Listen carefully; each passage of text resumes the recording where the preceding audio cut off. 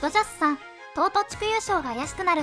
大谷翔平を擁するドジャースはア・リーグ西地区で64勝47で首位を守っているが2位と3位とのゲーム差が縮まってきている。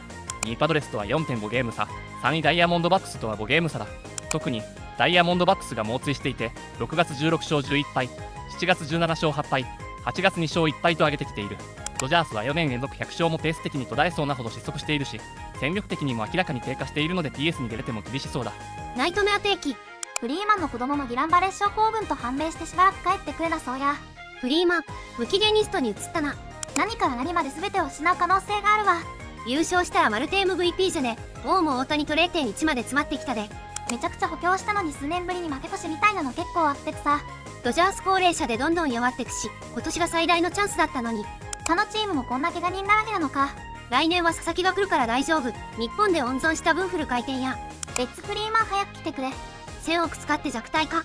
レッツと歌唱山本が復活すればあっという間に優勝するって。主力選手不在だからこんな手ったらくになってるだけ。怪我人大量発生。東海後半戦失速。完全に去年までよく見たおなじみの流れで草。400億の黒リハビランのせいだろう。山本いつ復活できるんや？ここはエンゼルス？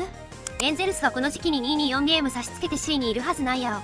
むしろ主力が消えすぎて大谷が休めないやろ。わわ俺ばな。普通に休めばいいやん。なんで DH で選手休ませなきゃならんの？おかしくね？ずっと最強球団やったやん。今年は何が違う？今年悪い意味で何年ぶりってよく見るし。本当にチームの調子悪いんだろうな。これだけ怪我人泣いたら仕方ないけど。ワンファーム解体してまで今年来年にかけたパドレスが報われる展開ならええんちゃうか？D バックスが抜け出したら色々悲しいけどもなお地区優勝オッズは変わらずドジャースがダントツの模様。アホくさ優勝確率80%近くあるらしい管理人のつぶやきドジャース。最近は大谷さんが5分奮闘状態でした。結構ブルペン崩壊気味ですって試合も出ちゃってる状況ですね。レッツの復活は8月中旬と言われていますがフリーマンは見通し立たずで山本投手の離脱は長期化しそうですね。ただまだ蓄シーなのは事実なのでロバーツ監督にトレードで獲得した選手を積極的に使ってもらって立て直してほしいです。野球が好きなみんなはポチッといいねとチャンネル登録よろしくお願いしますのだ。ではまた次回の動画で会おう。